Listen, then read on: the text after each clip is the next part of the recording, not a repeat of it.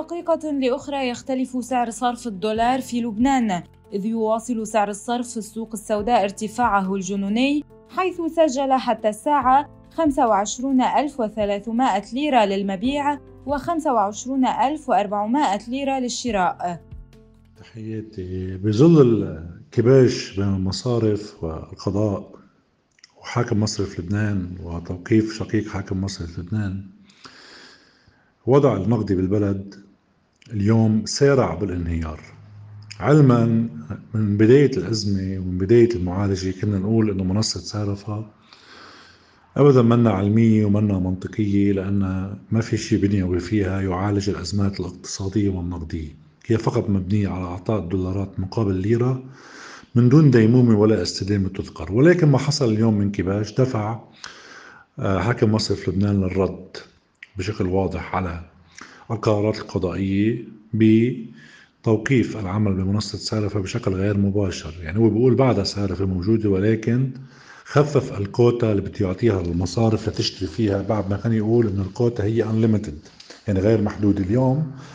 اتفق مع المصارف إنه يعطيها كوتا محددة مقسمة على عدة أيام ليوصلها المبلغ. فبالتالي ما عاد قادر المصارف تلبي الزبائن بشكل يومي فصار الزبون إذا بده يحط مبلغ على صيرفة بده ينطر من ثلاث أيام لأربع أيام هيدا إذا حصل عليهم وحياخذهم بشكل مجزأ حتى بلحظة القبض.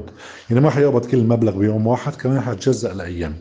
هذا خلق نوع من عدم الاستقرار وكل الناس كانت متعودة تنزل كل يوم تجيب مصاري من سارفة ركضت مباشرة للسوق السوداء فارتفع الطلب على الدولار بالسوق السوداء بشكل كثير كبير مما خلق نوع من ارتفاع بسعر صرف الدولار وهذا عمل خوف وقلق عند باقي الناس بالتأكيد اللي كمان لجأوا بسرعة لحتى يلحقوا حالهم لأنه كانوا سبقوا وشهدوا الدولار وصل ل 34 ألف فدغري مخيلتهم بالصورة بتجي أنه الدولار ممكن يتخطى هذا الرقم. فهذا الأمر ساهم اليوم بارتفاع كبير بسعر صرف الدولار. أما عن الكتلة النقدية بالعملة الوطنية فيقول الباحث والخبير الاقتصادي دكتور محمود جباعي في اتصال مع الجديد أنها متوافرة وبشكل كبير. أما الكتلة النقدية مش صحيح أنها مش موجودة اللبناني موجود ومتوافر. ما زال عندنا حوالي بكتلة النقدية بين 40 ل 42 ألف مليار مصرف لبنان. ما ضبه وكل اللي ضبهم هن 5000 مليار ليرة على مدى شهرين.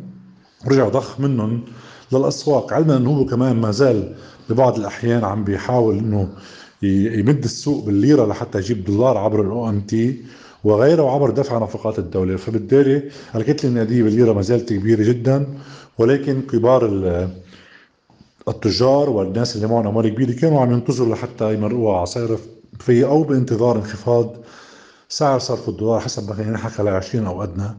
هذا الشيء صار واضح إنه ما صار وأنا من الأشخاص اللي كان رأيهم من الأساس ما حيصير.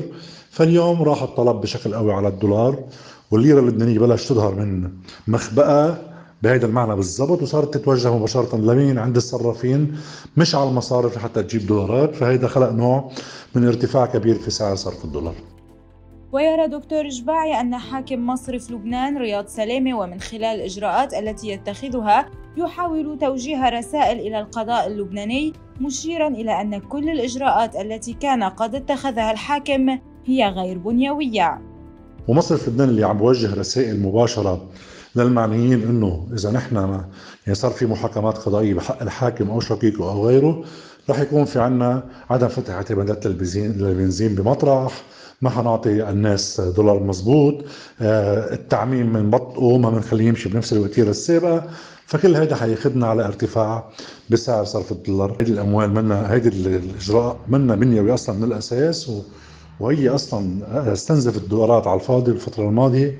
ما استفاد منها لا الاقتصاد ولا البنيه الاقتصادية ولا البنيه النقدية.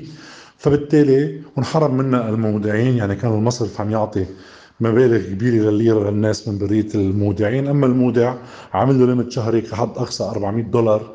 فريش دولار بينما كان ياخذ المواطن يوميا بين 4000 و 5000 دولار وفي شركات كانت تاخذ أكثر فبالتالي كل هذا اليوم رجعنا لنقطة أساسية وهي إنه باللحظة اللي بوقف فيها مصرف لبنان أو بخفف آه عمله على سعر فالدولار حيرجع يطلع وهذا اللي صار اليوم وهذا الشيء متوقع وطبيعي جدا والارتفاع سيستمر لفترة طويلة لأنه أصلا مصرف لبنان اليوم قدرته على ضخ الدولارات بلشت تقل احتياطاته نزلت من 13 مليار لحدود ال 10 مليار دولار.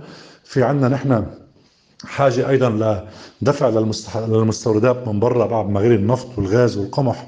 بأرقام عالية جدا بعد الأزمة الأوكرانية فكل هيدا بحتم إنه مصرف لبنان قدامه حل واحد وهو إنه يوقف صيرفه بشكل غير مباشر ويعلي سعرها أيضا من أجل استخدام أموال محددة لحتى يعوض الخسائر فكل هيدا حيؤدي لمزيد من الارتفاع بسعر صرف الدولار إذا وبحسب دكتور جباعي إن ما نشهده اليوم يعود إلى المعركة القائمة بين المصارف والقضاء اللبناني فهل يشكل المواطن وقود هذه المعركة؟